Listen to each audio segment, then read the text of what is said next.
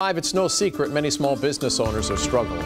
At the Virginia Beach oceanfront, city leaders say the worst may be yet to come. As 13 News Now reporter Connor Reel found out, for at least one business owner, the worst is already here. Ah, the boardwalk during the summer. Busy and bustling, activities galore. But these days, outside of grocery stores, busy and bustling is a tough concept to come by.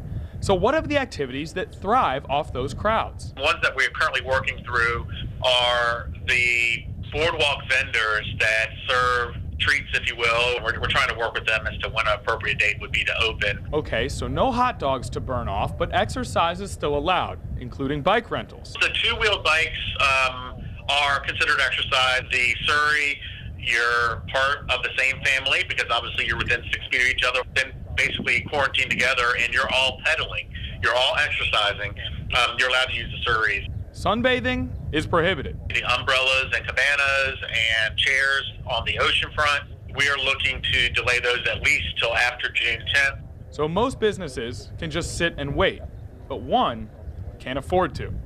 With us coming out through the tail end of winter, uh, it wasn't long um, before spring got started where we were shut down. Chase Foster, owner of Virginia Beach Horseback, well, his season only lasts through May, so waiting on possible June reopenings is not an option. During the uh, downtime, it's going to create a level of hardship until we uh, receive some type of uh, assistance. Foster, ever the optimist, is hopeful.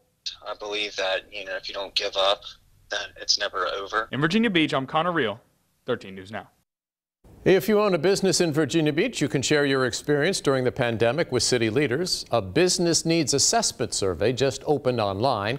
It asks questions like, did your business have to close? Have you furloughed or laid off workers? How concerned are you about closing permanently?